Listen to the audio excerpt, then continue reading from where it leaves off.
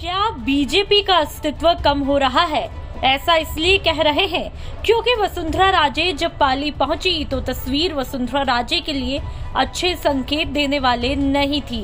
BJP में गुटबाजी से इतर जब वसुंधरा राजे बार बार ये मैसेज देने की कोशिश कर रही है कि आज भी राजस्थान में मेरे तेवर का असर कम नहीं है तब पाली से हताशा भरी तस्वीर उल्टा उन्हीं को मैसेज देने वाली थी कि जनता तेवर देखने में नहीं, सिर्फ़ काम के आधार पर अपने नेताओं को सत्ता की चाबी सौंपने में यकीन रखती है। जैसे ही वसुंधरा राजे पाली पहुँची, तब ऐसा लगा कि जितने अधिक विधायक बीजेपी के पाली से है, उस जोश उत्साह में कमी दिखाई दी और जनता में जोश भी कम दिखा। साथ ही वहाँ लगे बैनर ने तो स्थिति को काफ़ी हद तक साफ़ कर दिया क्योंकि बैनर पर सांसद और सभापति नगर परिषद के द्वारा स्वागत का बैनर लगा था, लेकिन पाली के विधायक और जिला अध्यक्ष के फ़ोटो नदारत थे। लोग ढोल थाली पर डांस करते हुए दिखाई दिए।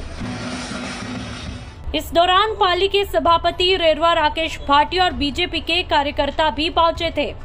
हैरत की बात तो ये है कि वही पाली में राजस्थान में सबसे अधिक विधायक के बाद भी पहली बार सबसे कम कार्यकर्ता दिखाई दिए।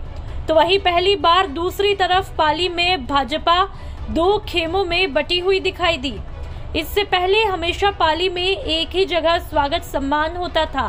परंतु पहली बार सांसद और सभापति द्वारा अलग से अभिनंदन हुआ तो वही दूसरी तरफ़ विधायक द्वारा अलग से अभिनंदन कार्यक्रम हुआ, जो कि चर्चा का विषय बना रहा।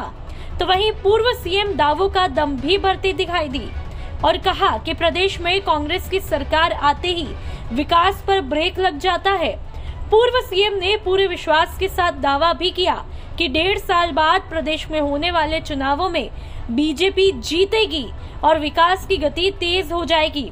अब डेढ़ साल बाद बीजेपी की सरकार बनेगी और रुके काम भी पूरे होंगे। लेकिन पाली ने तो बीजेपी को ये मैसेज दिया कि बीजेपी कमज़ोर नज़र आई है, जिसे मज़बूत करने की कोशिशें अभी से शुरू कर देनी चाहिए। क्योंकि 2023 में जनता रिपोर्ट कार्ड जारी करेगी। राजस्थान तक के लिए पाली से भरत भूषण की रिपोर्ट।